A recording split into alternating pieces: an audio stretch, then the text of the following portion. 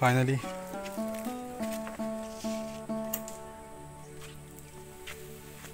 Finally दीवाने शाह पहुँच गए। और ये दीवाने शाह के मज़ार और बैग हाँ ये दीवाने शाह के मज़ार हम पहुँच गए, जो दूरा जी से कुछ फासले पर वाकिफ़ है। वाक़ और जो है वो,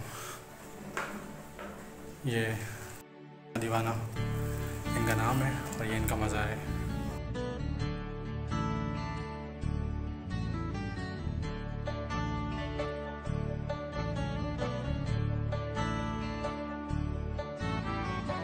फाइनली हाँ बेसिकली क्या है कि टूरिस्ट की जैसे मैं टैग डालता हूँ कि मैं हैश वेंचर के टूरिस्ट हैं। तो आज हम बहलोल शाह दीवाने के मज़ार पर आए थे। होप कि आप लोगों ने इनका नाम सुना। बहलोल शाह दीवाने का नाम अगर आपने सुना हो तो जो लोग जो है वो वाबस्ता हैं,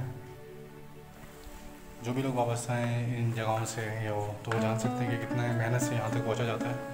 तो कराची से जो है वो बैलोल शाह दीवाने तक का सफ़र बहुत ही मज़ेदार रहा, बहुत ही ज़बरदस्त रोड था और दैट्स इट तो आज टीम ने बहुत ज़बरदस्त एफर्ट के साथ जो है ना हमने काम किया है इंशाल्लाह, और जो है ना अभी बस यहाँ से हम निकलेंगे।